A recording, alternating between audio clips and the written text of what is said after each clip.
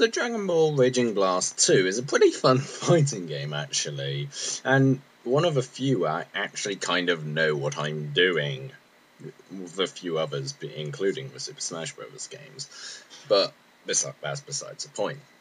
The point is, Dragon Ball Raging Blast 2 is a fun game, and weirdly, some copies of the, you know, some of the European copies actually have the Japanese music, which is where this theme comes from.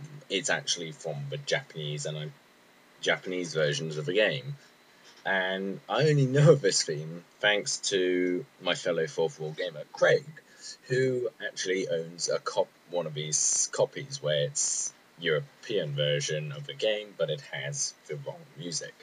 And this music, I really like it because it just gets me in, gets you in the mood, I guess. It well, it gets me in the mood for getting out there and fighting some Dragon Ball. And really, it does that job well, to be honest.